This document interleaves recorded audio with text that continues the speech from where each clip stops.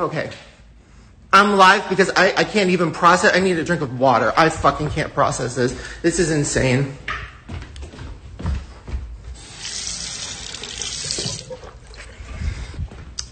This is insane. This is insane. This woman is a fucking. Oh my god. Oh my god. I'm gonna wait till as many people get in here as possible because I'm losing my mind. Keep playing it. Keep I playing didn't it. know I was making a video. So how is it that so many editorial outlets knew that something was coming before I had Because you message drama channels. Oh my god. Oh my god. struggled with the decision Oh my to God. film my video for days?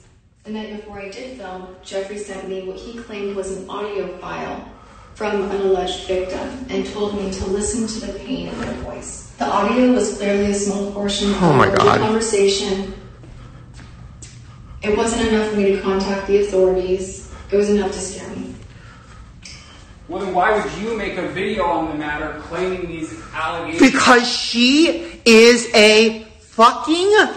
I can't, I can't. I don't want to say mean things about people. This is insane. This is insane. This person literally.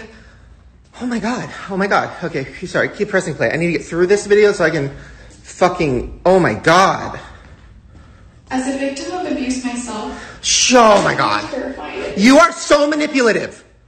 to think of facing public. You're fake. You're fake crying. You are fake crying. You are fake crying. That is not real. Oh my god. Oh my god. to contact authorities. Oh my god. Oh my god. It was not my Oh my god. I was molested. I have been. Oh, oh my god. That is not. I made no mention of it in my video. Oh my god. Get off. The night before posting my video by sister, Oh my god. I texted Shane sharing my concerns for James Charles that he was out of the country on the high floor of a hotel and I was afraid for him.